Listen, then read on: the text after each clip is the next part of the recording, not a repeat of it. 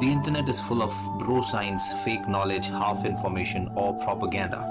Your quest of reliable, authentic health information ends here. So, subscribe this channel and hit the bell icon, and you never have to go anywhere else ever again.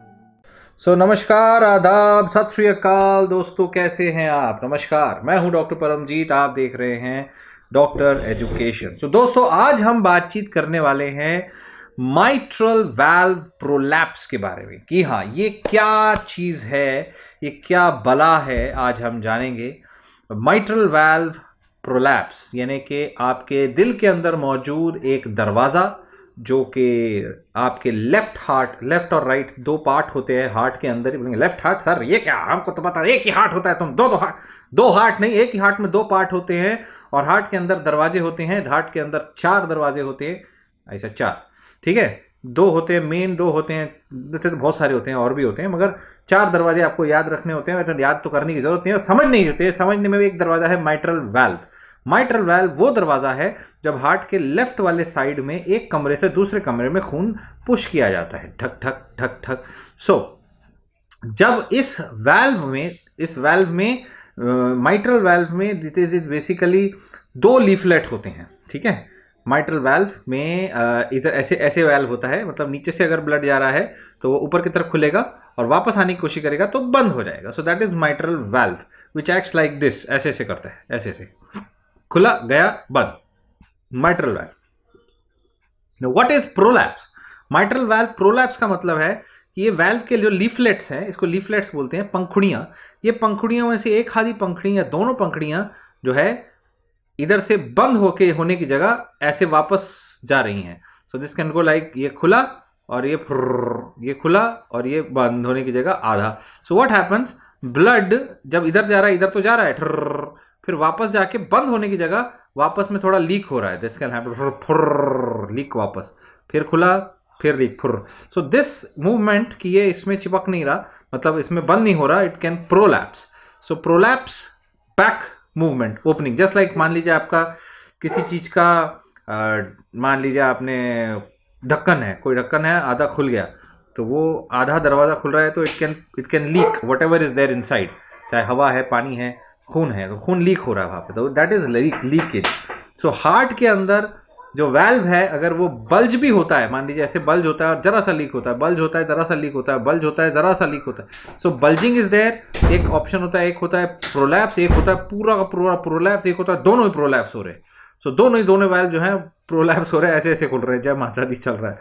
So a lot of prolapse can happen it can become like a parachute bulging ऐसे parachute बन सकता है ऐसा ऐसा बन सकता है। So a lot of structural abnormality can happen in the heart ये एक स्ट्रक्चरल एबनॉर्मलिटी है। राइट right, सो so, यहाँ जब ये ये नीचे जो है नीचे लेफ़्ट एट्रियम है ऊपर लेफ़्ट वेंट्रिकल है ऐसे होता है वो। So that is how mitral valve is mitral valve prolapse can lead to this which is called as mitral regurgitation regurgitation मतलब लीकेज सो ये समझना क्या ज़रूरी है। देखो मोस्ट लोगों में ये होता है। ऑलमोस्ट सभी को थोड़ा बहुत लीकेज होगा एट सर्टन एज किसी को कुछ उम्र में जाके, किसी को कुछ उम्र में जाके। It might not require mild leakage does not require any treatment कोई लाइफ थ्रेटनिंग नहीं है, कोई मेजर प्रॉब्लम कोई सिम्टम कुछ नहीं आएगा। मगर, अगर ये, और और कहने का मतलब ये है कि mitral valve prolapse is actually a life long disease एक बार हो गया तो वो होता, वो नहीं ठीक होता। इट्स समथिंग लाइक कि, जैसे आपके घर का दरवाज़ा है, अगर वो मान लीजिए एक जैसा बन गया, छोटा बन गया तो छोटा ही रहेगा, फिर उसको एडजस्ट करना पड़ेगा, या फिर टाइट है तो आपको काट के कर सकते हो बट हार्ट के अंदर तो रिपेयरिंग नहीं कर सकते ना। यहाँ पे तो no it does not like work like you can do some repairing by surgery but it's not so easy like repairing your दरवाज़ा। So mitral valve prolapse will stay with you if you don't correct it और manage it how to manage how to correct that's what we will discussing today तो क्या करना है? कई लोगों में पता भी नहीं चलता। कई लोगों में एम अल्ट्रासाउंड जब इकोकार्डियोग्राफी कर रहे हैं, किसी ने करवाया कंपनी ने करवाया ऑपरेशन से पहले करवाया तो पता चलता है माइट्रल वेल्व प्रोलैप्स है माइट्रल वेल्व रिगर्जिटेशन है there is a little bit of leakage mitral valve regurgitation तो उससे कोई दिक्कत नहीं है, ज़्यादातर कोई साइन सिम्टम नहीं आते। सिम्टम कब आएगा? जब लीकेज ज़्यादा होगी।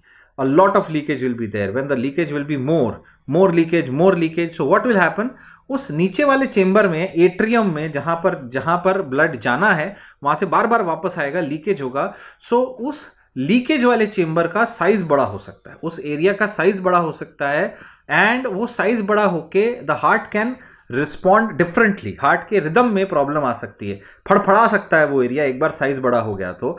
सो so, ऐसे केसेस में लेफ़्ट एट्रियल डायलेटेशन जिसको हम कहते हैं, बड़ा हो जाना देखा जाता है। ऐसे केसेस में अगर माइट्रल वैल्व लीकेज मॉडरेट हो गया, एक होता है माइल्ड मॉडरेट सिवियर ऐसा। माइल्ड है, कोई बात नहीं। मॉडरेट है सिवियर है, तब सिम्टम आते हैं। मॉडरेट हो गया तो दिल की धड़कन बढ़ सकती है रिदम प्रॉब्लम आ सकती है, और अगर रिदम प्रॉब्लम आती है तो चक्कर भी आ सकता है लाइट हेडेडनेस हो सकता है डिजीनेस हो सकता है ब्रीदिंग प्रॉब्लम आ सकती है। अगर वो मॉडरेट सिवियर हो गया तो ब्रीदिंग प्रॉब्लम आएगी। लिटरली बिकॉज़ ये समझिए कि एक हार्ट के एरिया से जितना ब्लड जाना चाहिए, उससे आधे से ज़्यादा वापस आ रहा है। So blood is coming back so बाहर ब्लड आएगी नहीं। हाँ? मान लो मान लो आपने खाना मुँह में डाला, ज़्यादातर बाहर आ जा रहा है। समथिंग लाइक दैट सो ज़्यादातर खाना बाहर आ जा रहा है। दैट इज़ अ लीकेज जरा सा बाहर आ गया तो कोई बात नहीं आपसे कर खा लोगे। चलो, कोई बात नहीं, ज़्यादातर तो खाया गया।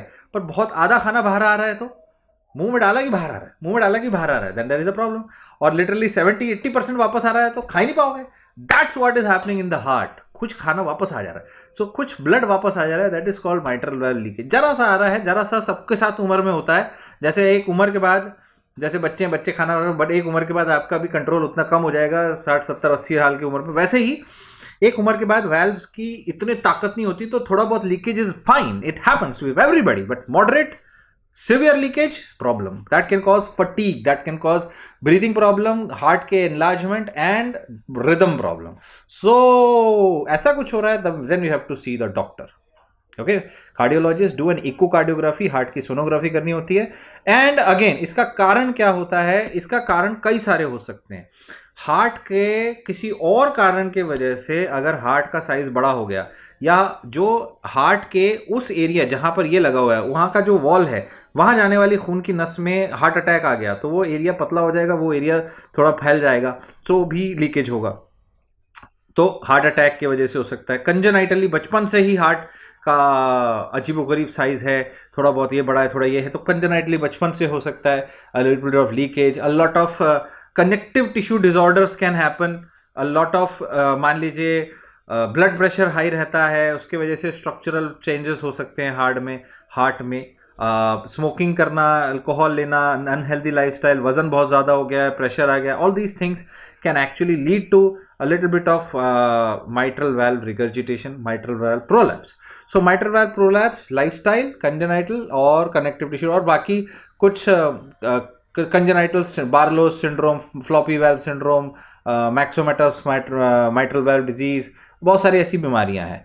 सो so, ऐसे में अगर बचपन से आपको मान लीजिए कोई मार्फन सिंड्रोम है अर्लर डाइनो सिंड्रोम है एप्टिन एनॉमली है मस्कुलर डिस्ट्रॉफी है स्कोलियोसिस है यानी रीढ़ की हड्डी टेढ़ी है तो भी हो सकता है या थायराइड बहुत ज़्यादा हाई है थायरोटॉक्सिकोसिस टाइप ग्रेव्स डिज़ीज़ है तो भी हो सकता है। सो so, ये सारे प्रॉब्लम हो सकते हैं कारण है। इसका कॉम्प्लिकेशन क्या हो सकता है? ज़्यादा से ज़्यादा क्या हो सकता है? क्या हो जाएगी? मर तो नहीं जाओगे ना? नहीं मरोगे, ऐसे नहीं मरोगे। अगर वो बहुत सीवियर हो गया माइल्ड तो मोस्ट लोगों को होता है माइल्ड का टेंशन नहीं लेना तो इसको ऊपर निगरानी रखनी पड़ेगी ना। सीवियर तो नहीं हो रहा। निगरानी के लिए क्या करोगे? रेगुलरली अल्ट्रासाउंड करोगे। Ultrasound of the heart which is called echocardiography so echocardiography has to be done regularly meaning every six months और वन ईयर वन ईयर में कर लो, दो साल में कर लो। अगर प्रॉब्लम पकड़ में आया तो बट करो करो तो सही। अगर ज़्यादा है मॉडरेट है तो सिक्स मंथ्स में कर लो। माइल्ड है दो साल में कर लेना। नहीं कुछ है तो फिर भी करना पड़ता है है ना? रेगुलर हेल्थ चेकअप तो करना ही पड़ता है। सो so, प्रॉब्लम्स क्या आ सकती है? जैसे मैंने कहा rhythm problem that can happen regurgitation severe हो सकता है और हार्ट का एनलार्जमेंट हो सकता है। So that is what it is और अल्टीमेटली इसका तो अगर को आपको जानना है कि आपको है कि नहीं है तो डायग्नोसिस करने का एक ही तरीका है which is called echocardiography ultrasound of the heart and sometimes stethoscope से भी हम सुन सकते हैं। The leakage mix a sound वो साउंड सुन सकते हैं हम। तो सेटोस्कोप से हम साउंड सुन सकते हैं लीकेज अगर कर रहा है तो और else there is only one way through ultrasound echocardiography तो हार्ट के अंदर अगर मरमर आ रहा है सेटोस्कोप पे डॉक्टर साहब, अगर आप देख रहे हैं तो आप उन पेशेंट का इकोकार्डियोग्राफी ज़रूर कराएँ। फिजियो अपने कार्डियोलॉजिस्ट के पास भेजें इकोकार्डियोग्राफी और चेस्ट एक्सरे में भी एक्सरे में भी हार्ट एनलार्जमेंट दिख सकता है। ईसीजी e में थोड़े साइंस दिख सकते हैं। Stress test when you do stress test या कई बार ऐसे पेशेंट्स का स्ट्रेस टेस्ट या एंजियोग्राफी भी करके देखनी होती है और एसोसिएटेड बीमारियाँ तो नहीं है। So that is also there ultimate चीज़ ऐसे पेशेंट्स को क्या दवाइयाँ लेना है? तो ऐसे पेशेंट्स को हार्ट रेट और हार्ट ब्लड प्रेशर कंट्रोल किया जाता है। Because there is a leakage leakage can lead to सांस फूलना। ऐसे पेशेंट्स को फिर दिल की धड़कन कम करने वाली दवा बीटा ब्लॉकर्स या पेशाब ज़्यादा आने वाली दवा हार्ट की रिदम ठीक करने वाली दवा, खून पतला करने वाली दवा, ऐसी दवाएँ देनी पड़ सकती है। तो डायोरेटिक्स देने पड़ सकते हैं बीटा ब्लॉकर देने पड़ सकते हैं, खून पतला करने की दवा देनी पड़ सकती है। बिकॉज़ जब एक हिस्सा बड़ा हो जाएगा तो वो हिस्से के अंदर खून ज़्यादा देर रुकता है। कई बार उसमें हिस्सा आड़ा टेढ़ा हो जाता है, ऐसा हिस्सा बन जाता है जहाँ खून रुका ही होता है, रुका रुका रुका क्लॉड बन जाता है। जाओ। क्लॉट बनेगा ब्रेन में जाएगा स्ट्रोक क्लॉट बनेगा छाती में जाएगा फिफड़ों में जाएगा पल्मोनरी एम्बोलिज्म फट सीधा पेशेंट मर सकता है. सो दैट्स वाई खून पतला करने की दवा चलती है और बिकॉज़ ऑफ़ द लीकेज सांस फूलने लगता है लंग्स में प्रेशर बढ़ जाता है बिकॉज़ बैक प्रेशर कहाँ आएगा? लंग में आएगा. हार्ट में ब्लड कहाँ से आता है? लंग से आता है. सो बैक प्रेशर जब बैक एक में आएगा दूसरा हिस्सा बड़ा हो रहा है वो लंग पे फेंकेगा. सो so, लंग में प्रेशर बढ़ जाता है सांस फूलता है सो so, डायोरेटिक देना पड़ता है पेशाब ज़्यादा आता है पानी कम हो जाता है, पानी कम पीना होता है। So these are the management how you live with the disease how you live with the problem right इसके अलावा अगर ज़्यादा हो जाता है सिवियर है तो रिपेयर किया जा सकता है सर्जरी से। So mitral valve repair mitral valve replacement can be done if needed और there are some other trans catheter mitral valve therapies जो, जिसके बारे में आप अपने डॉक्टर से बात कर सकते हैं कि भाई इसमें और क्या क्या ऑप्शन हैं? Is there any other option which we can do So that's how it is. Mitral valve prolapse. I hope you understood every single thing about the valve and you should share this video with every single person you know because आज नहीं तो कल कल नहीं तो परसों सबको ये प्रॉब्लम होनी है so thank you so much for watching this is doctor Paramjit